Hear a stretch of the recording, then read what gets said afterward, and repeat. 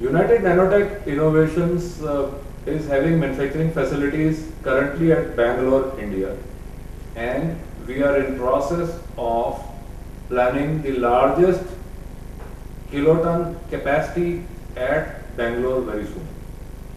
We also have plans to set up plants outside India in the whole world and going very very close to our customers. We are also in discussions with various organizations in the world for setting up specific nano contract manufacturing facilities. What are we in manufacturing technology?